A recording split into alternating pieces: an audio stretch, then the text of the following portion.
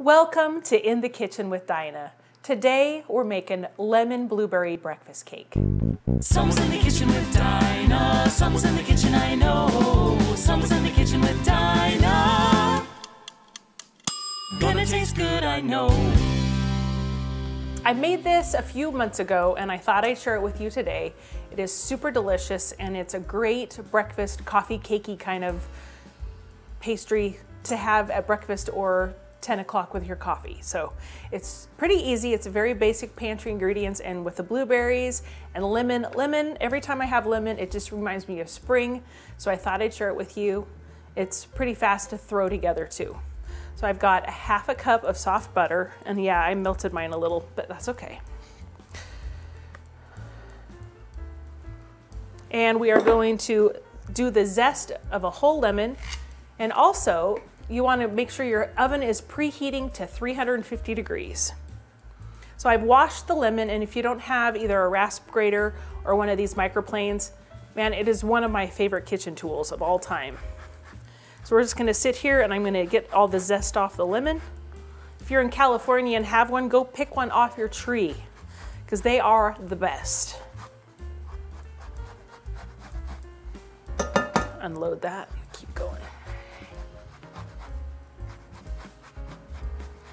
As I zest this, you can totally sub out the flour for gluten-free flour. Just use the cup for cup. It works great. And either you want an 8 by 8 or a 9 by 9 square pan for this. And if you want to double it to a 9 by 13, you can do that too. Today we're doing an 8 by 8 Man, this smells good. So springy. Okay, that's probably a couple tablespoons. Now we got a lemon you can cut and put in your water. So we won't be using any of the juice on this. So go ahead and set that aside. And we're gonna use one cup of white sugar. There's the oven, it's all ready. So we got one cup of white sugar. I'm gonna mix that up here.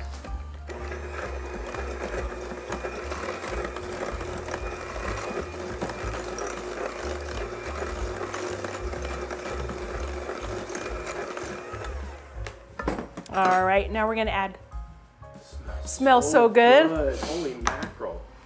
Ooh. One egg going in. Oh, I forgot my towel. Hang on. All right, one egg and my glug of vanilla, which is a teaspoon.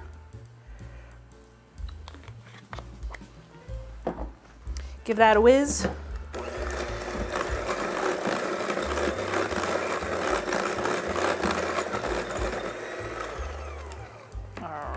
Now we're gonna add our dry ingredients.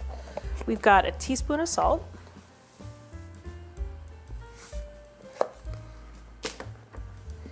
Two teaspoons of baking powder.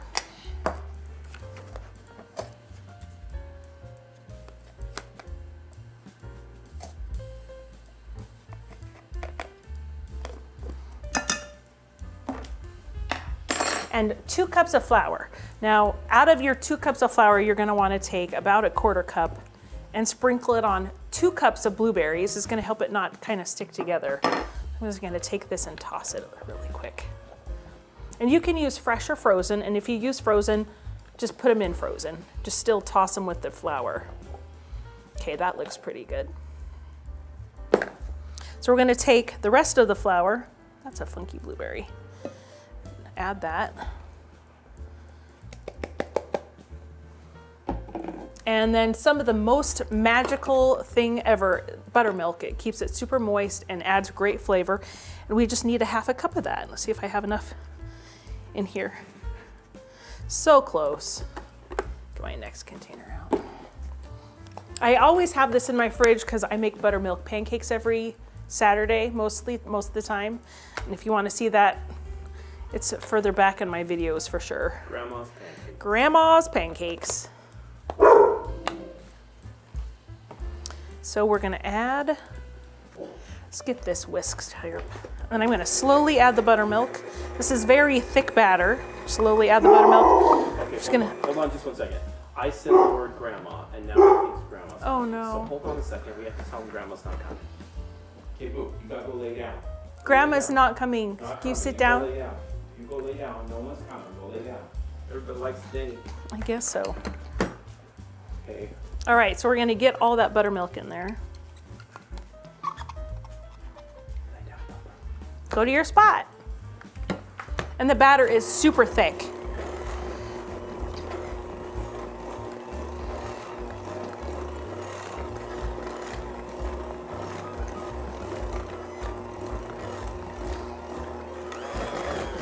Okay. That is good. Now we're gonna toss the blueberries in. Is how you get your arm workout.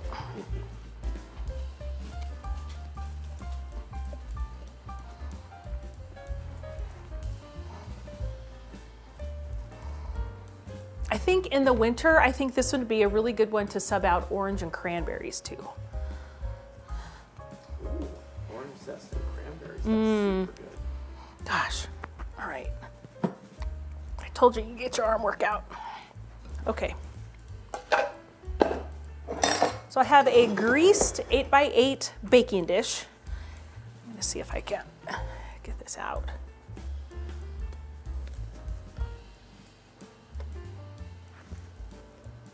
Man, that smells so good, you guys. Of squish it around your dish. It kind of doesn't spread. You kind of have to really move it.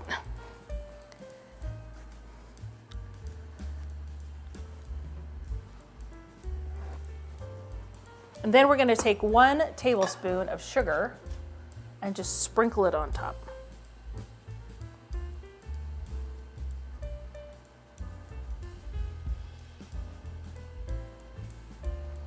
Okay. We're gonna pop this in the oven for about 40 minutes. If you use an 8x8, it'll probably take 40 to 45. If you use a 9 inch, it'll take 35 minutes. And it's not, I think the last time I made this, I made a 9 by 13. I think it almost took up to 50 minutes to cook.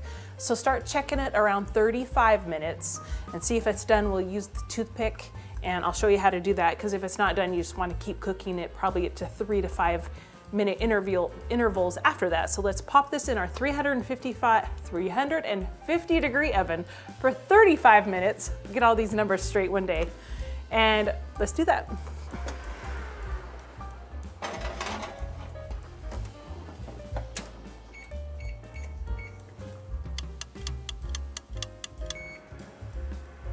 All right, so that was 35 minutes. Let's check it.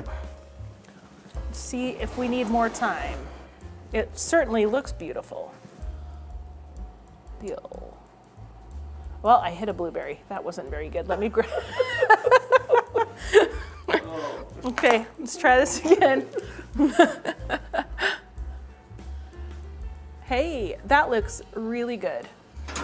It's nice and brown around the edges. It's not wet. So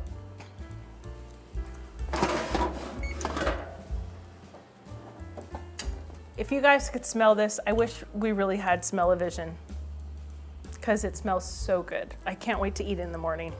So wait about 10 minutes before you cut this and serve this. So get it out of the oven and then make the rest of your breakfast or brunch. It's so delicious. Get your coffee all ready. But I just want to say thanks again for joining me in my kitchen. I sure hoped you enjoyed learning how to make lemon blueberry breakfast cake. I know that's a mouthful, but it is so delicious. You guys have a terrific day. Don't forget to comment, subscribe, and turn the bell on for notifications, and have a terrific day. Lemon blueberry breakfast cake with sprinkles. And I do that. Don't inhale when you're spraying your pans, y'all. I, I never inhaled. Should I just call it that? I like that. Okay. It's hot, no touchy. It smells so good. That's good. Uh, it smells so good. I mean, just like The batter's even I good. don't, I don't want to know better, but Uh, I didn't either, but it even tastes good. Gonna taste good, I know.